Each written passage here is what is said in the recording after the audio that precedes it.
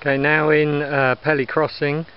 Um, there's my tent pitched up, nice. It's a beautiful sunny evening. Uh, got here, there was no fuel left in my stove, so have had to improvise. And got the campfire going with some bangers on the top. Not quite the barbecue that we'd have back in England, but I'll just show you what it's composed of. It's all exciting stuff. These are cheddar smokies with bacon bits. Very nice.